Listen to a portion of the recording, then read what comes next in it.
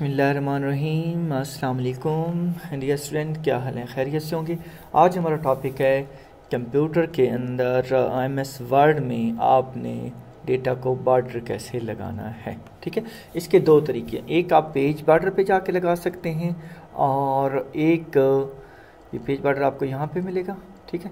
لیکن اس سے پہلے ہوم ٹوب میں بھی آپ ہوم ٹیب میں بھی اس کا یوز کر سکتے ہیں۔ ٹھیک ہے؟ اس کے لیے اب آپ آئیں گے یہاں پہ۔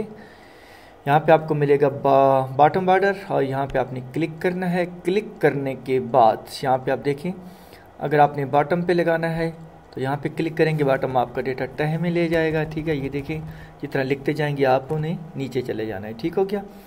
ایک یہ ہو گیا۔ اب سیکنڈ آپشن پہ آپ کا ہے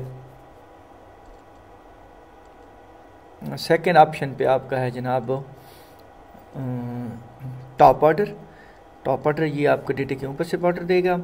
نیکسٹ آپ نے کر لینا ہے لیفٹ بارڈر یہ لیفٹ سائڈ پہ آل بارڈر پہ کلک کریں گے تو آپ کا جو بھی ڈیٹا ہوگا اس کو لائن وائز وہ اس میں بارڈر دے گا. کلیئر ہو گیا? نیکسٹ ایک اور بارڈر لے لیتے ہیں چھوٹا سا. یہاں پہ آپ کلک کریں گے. یہاں پہ کلک کرنے کے بعد آپ نے آنا ہے outside border outside border میں جو بھی آپ نے ڈیٹا لکھنا ہے یہ سارے ڈیٹے کو بارڈر دے دے گا. یہاں تک کلیئر ہو گئی بات.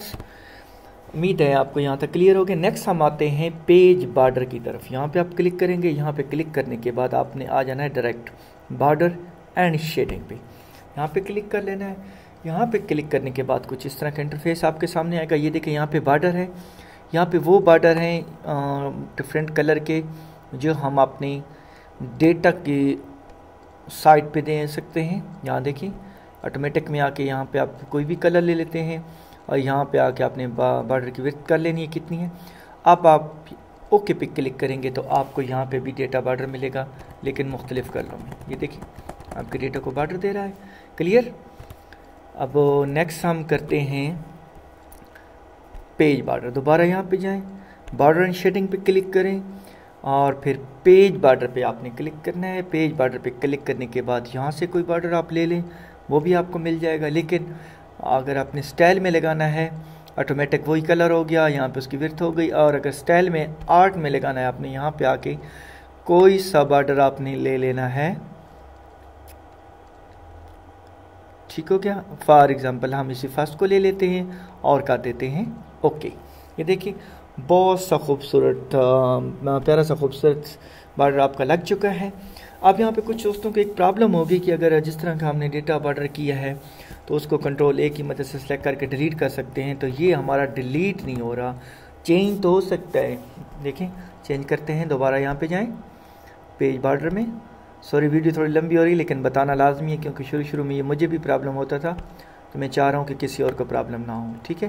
اگر آپ نے یہاں سے کوئی اور بارڈر لینا ہے، آپ یہاں سے بارڈر لے سکتے ہیں اور یہاں سے کوئی اچھا سا کلر لے لیتے ہیں آپ۔